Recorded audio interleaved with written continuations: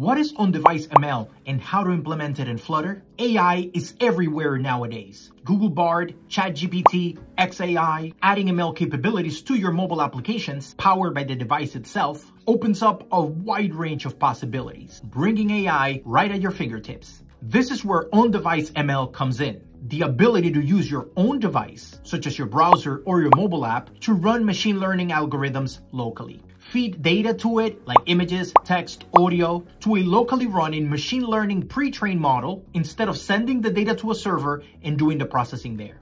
The benefits of on-device ML are low latency, think real-time ML processing, keep data on the device, good for user privacy, works offline, no need for a network connection. Build your model as a TensorFlow Lite model, load it in the assets, and use a library like TF Lite Flutter to run inference on your model, and done. And that's on-device ML for you.